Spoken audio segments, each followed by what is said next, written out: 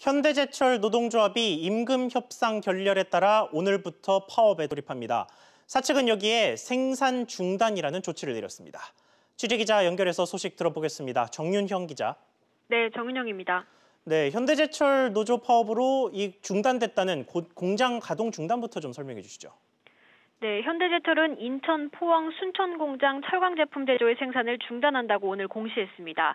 생산 중단 일자는 오늘 오전 7시부터 모레 오전 7시까지 총 48시간입니다.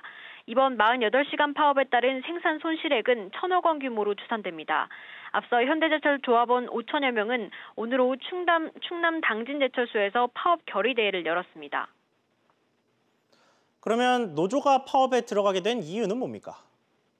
네, 지난 7월부터 7차례에 걸쳐 사측과 임금 협상을 벌였으나 이견을 좁히지 못한 데 따른 겁니다.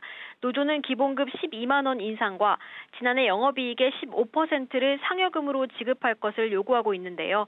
사측은 철강업계의 업황 악화 탓에 어렵다는 입장입니다. 또 임금 체계 개편을 놓고 사측은 격월로 지급하는 상여금을 매달 주는 대신 상여금을 통상 임금에 포함시키자는 입장입니다. 하지만 노조는 기본급 인상이 우선돼야 한다고 강하게 반발 하고 있습니다.